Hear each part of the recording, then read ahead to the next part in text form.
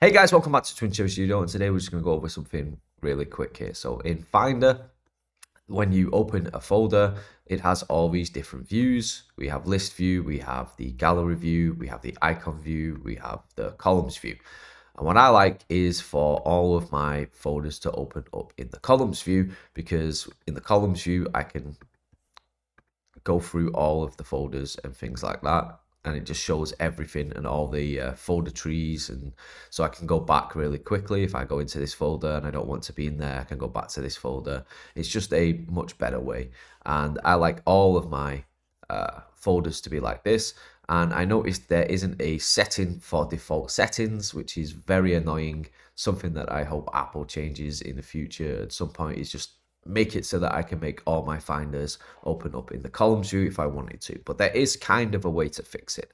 So if you click on the columns view to make sure that everything's in the columns view, then you go to view. And then if you go to show view options, there's this bit here where it says always open in column view. Make sure that is ticked.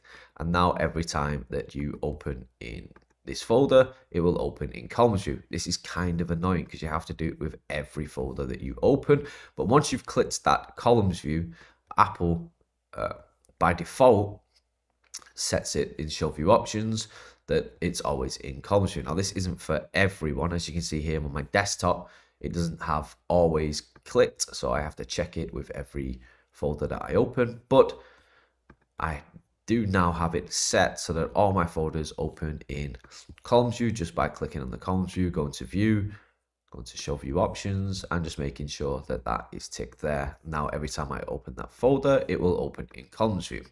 Like I said, it is very annoying. So if I was to make a new folder on my desktop and then open it, it will open in columns view. So it's kind of set now that anything that opens on these folders that you use is in columns view. It's the same with my hard drive, my OneDrive. I've got it all set to columns view, which is how I like it. So I hope hope this helps because I know it's only a minor thing and it's only a, like a minor video that we've got going on here, uh, a couple of seconds or whatever. So hopefully this helps. If it helps, let me know in the comments. Hit the like button if it helps, and uh, don't do anything I to do.